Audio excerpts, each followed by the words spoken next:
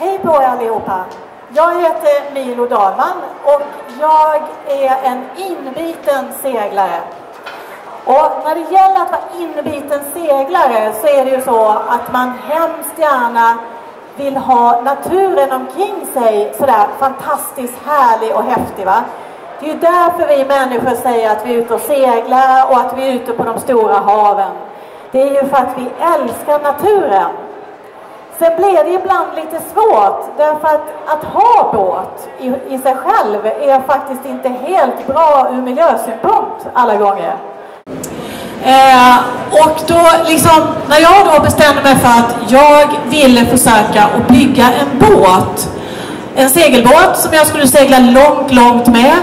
Och när jag då skulle bygga min egen båt, då tänkte jag att om det är någon gång man har chansen att påverka hur båten är byggd och hur den ser ut så är det när man bygger den själv från allra första början. Och det där var en utmaning ska jag tala om för er. Därför att det där med miljötänk har inte kommit hela vägen när det gäller hela båtbranschen kan jag faktiskt lugnt påstå. Det finns en lång väg kvar att gå men det är också häftigt för då finns det ju massor man kan göra. Och det är så, man kan faktiskt påverka väldigt mycket i sitt val av olika pyttlar och pinaler som man köper till sin båt utifrån ett miljötänk.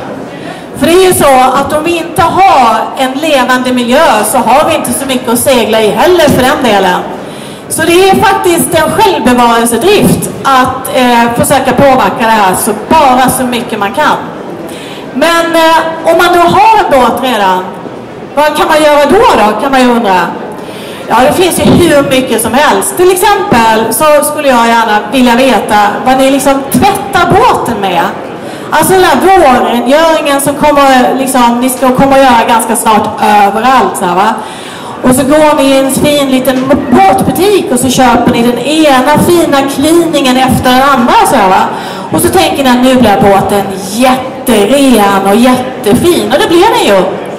Men ur miljösynpunkt så är det faktiskt inte alls speciellt bra med alla dessa rengöringsmedel som innehåller diverse kemikalier som inte ska ut i vårt vatten. Och det går faktiskt precis lika bra med såpa. Alltså såpa är ett fantastiskt rengöringsmedel. Jag har aldrig använt någonting annat än såpa i 20 år. Och det funkar jättebra.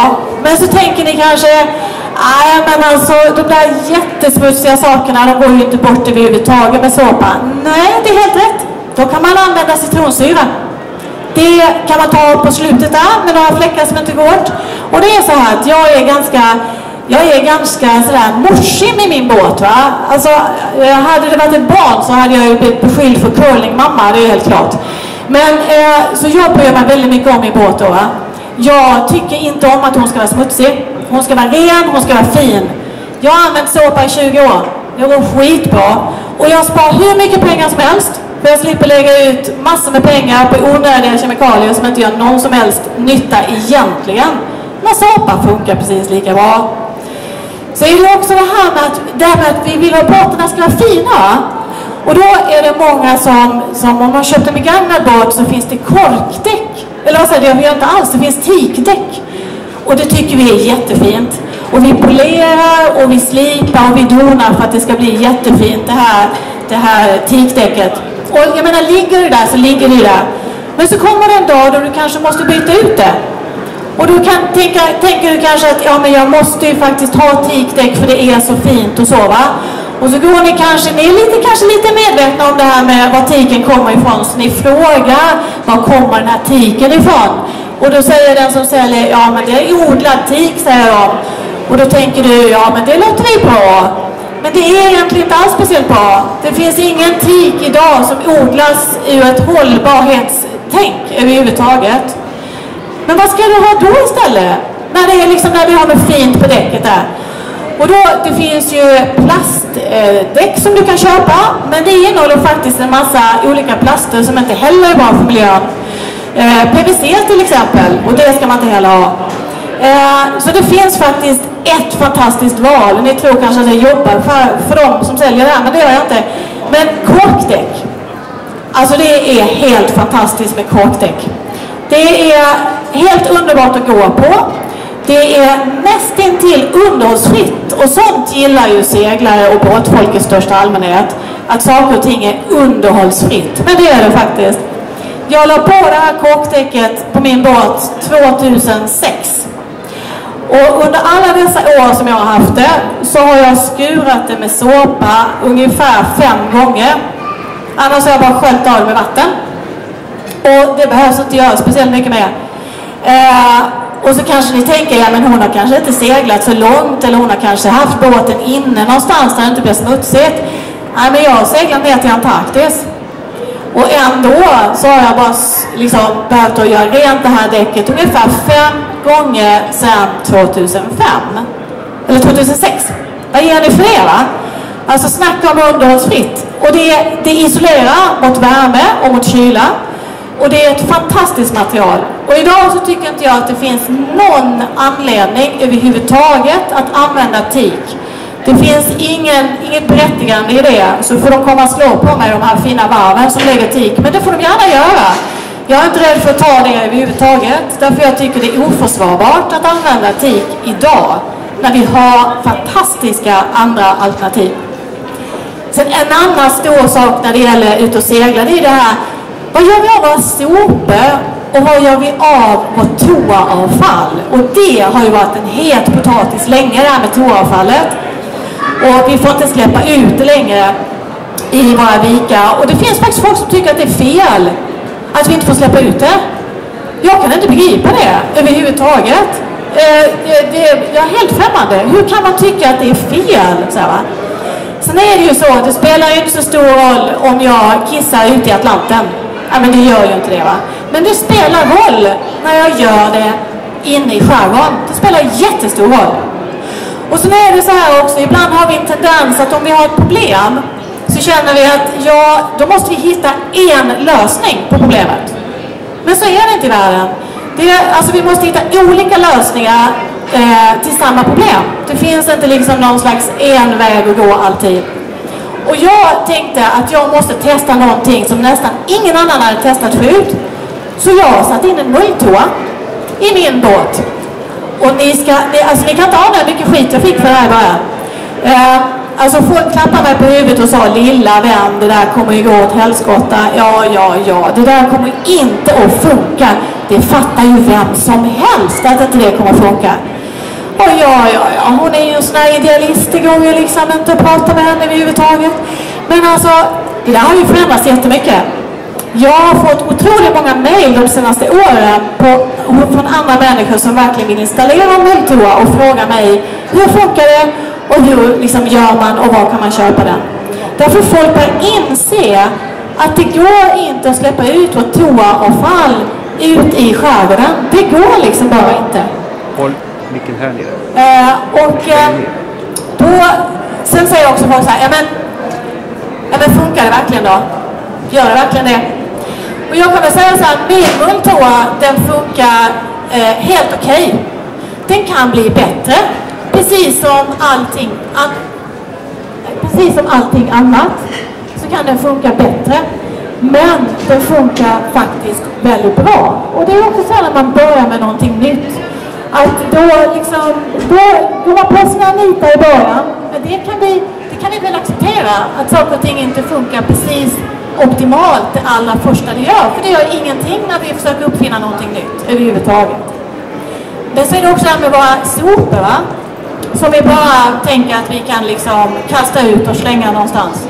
Eh, och jag är lite fascinerad över det också. Vi, vi, eh, vi tror att sopor försvinner det finns inte en sopa som försvinner överhuvudtaget. Det finns däremot, det bara omvandlas till någonting annat, men det försvinner ju aldrig någonsin. Och jag vet inte en enda människa nästan som inte har en massa petflaskor ombord. Ja, det finns en och annan, men eh, inte många. Och jag undrar ju ifall någon utav er som står här då, ni, ni får inte svara ifall ni vet nu där, men alltså hur många år det tar för en petflaska att försvinna i normalsaltat vatten. Vet ni det? Kan ni gissa hur många år det tar innan den försvinner? 50 år. 50 år var budet. Är det någon som vågar bjuda över 50 år? Alltså det tar faktiskt 450 år. 450 år tar det innan den, men den har ändå inte försvunnit. Den har blivit pytte, pytte, pytte små plastkulor. Och idag så är det så att man hittar all denna plast någonstans där det definitivt inte ska vara. Man hittar det i valarnas magar. Man hittar det i albatrossernas magar. Man hittar det i havssköldpaddornas magar. Och alla dessa, många av dessa djur har dött just därför att de har svalt denna plast. Som vi bara slänger ut. Jag heter Charlie, Winblad aktiv i Naturskyddsföreningen också. Jag har några frågor ändå på det här.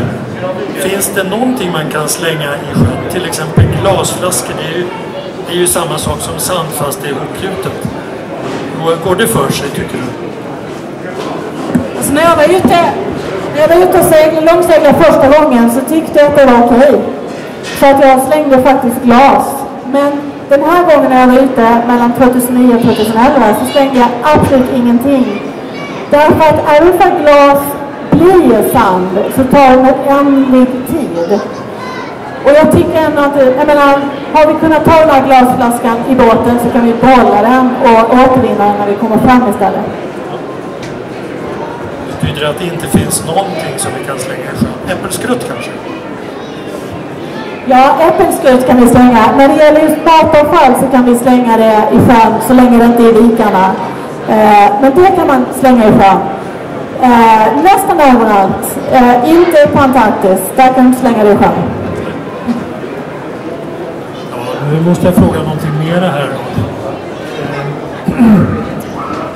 Du var inne på det här med att tvätta båten förut och, och det är ju en, eh, ett bekymmer för nästan alla. Framförallt havstulpaner och, och en del sjögräs då som vi får, får på båtarna. Och eh, det räcker ju kanske inte att, att att göra rent dem på hösten och på våren. Eh, men det finns ju massa nya metoder som håller på att komma fram nu med nya bottenfärger och alla möjliga tekniker för att få bort havstulpanerna framförallt. Har du någon uppfattning om vad som är, är det bästa för några typiska båtmänniskor? Ja, alltså eh, jag kan bara utgå ifrån min egen erfarenhet. Eh, det är den enda jag kan gå ifrån. Och när jag sjösatte den båt som jag äger nu då, eh, så sa jag åt dem att inte lägga någon bottenfärg alls på henne. För jag ville se ifall det funkade utan bottenfärg överhuvudtaget i Östersjön. Och då hade jag henne i Östersjön på sommaren och så hade jag henne i Mälaren i vattnet på vintern. Och då växte det och så gick jag in på, på eh, Fagerstiftelsens hemsida för att kolla när det började växa. Och två veckor, tre veckor efter så tog jag ut två kompisar till mig som kan dyka med tuber. De gick ner och skrapade båten, det tog en halvtimme. Eh, och sen så behövde inte jag göra något mer. Och det var allt jag gjorde de tre första åren jag hade båten. Eh, jag hade inga problem. En gång om året gick de ner och skrapade och det var allt vad jag behövde göra. Sen när jag skulle ut och långsegla så måste jag måla henne med någon typ av bottenfärg, annars så funkar det inte överhuvudtaget. Men, jag, vad jag kan se så är det så att om, många skulle inte behöva måla alls. Och sen så är det många som också haft väldigt dålig erfarenhet att det växer mycket och sådär. Och det gör det framförallt när båten ligger still. Så om man seglar mer och använder båten mer så växer det mindre på Östersjön. Alltså på västkusten är det ett annat problem, men i Östersjön och i Mälaren ska du inte behöva måla alls. Eh, utan att man, man eh, skrapar av den en varm dag i augusti och det är billigare än att köpa färg. Det är, man fryser mindre därför man gör det när det är varmt och slipper göra det under april när det oftast, när man ska måla så här och man oftast fryser händerna utav sig. Men det här är min erfarenhet och jag har aldrig haft några problem med beräkning, egentligen. Är det någon av er där som lyssnar som har egna erfarenheter kring den här frågan? Det finns ju säkert många som har misslyckats med något och sådana som har lyckats med någonting enkelt som vi kanske inte tänker så mycket på. Är det?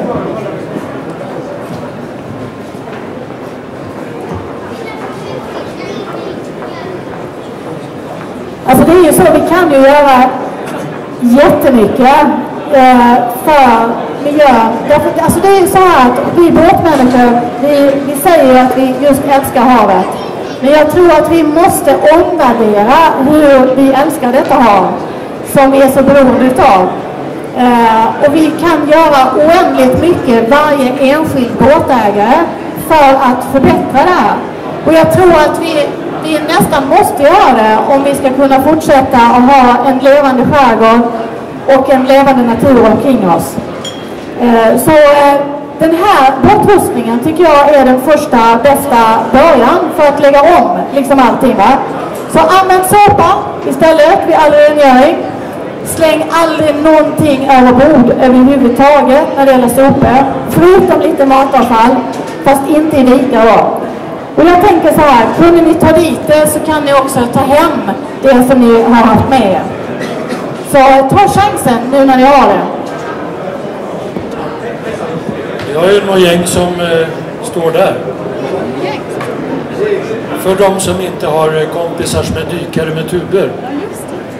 Så är det där något användbart. Du kan få komma upp och visa för det. Jag tror inte det är många som har sett den. Nej, det här är... Ja. Jo, hej, jag kommer från Skrubbis. Det här är en Skrubbis nämligen. Det är ett enkelt verktyg för att reglera båtskrovet. Det har en inbyggd flytkraft. Så den flyter och trycker upp på skrovet. Väldigt enkelt. Uh, precis. Uh, eh, teleskopskaft. Så man trycker ner den under vattnet och under båten. På så så flyter den och trycker upp mot skrovet. De här listerna skrapar ju då rent beväxlingen. Medan båten är kvar i vattnet så blir växlingen ren och mjuk. Följer med. Då slipper man hoppa i och bada. Dessutom ska man göra det lite oftare. Det är fortfarande kallt i vattnet. Ja. Tack. Ja, det, ja, men det är så. Det kommer fram liksom nya saker när vi vågar ställa liksom, krav på att vi vill ha det annorlunda. Så jag skulle vilja se mer båt folk ställa mer krav också på hur vi vill ha det. Så ställer vi kraven så kommer det att komma fram den ena eh, nyheten efter den andra. Så det är upp till oss att se till att de kommer.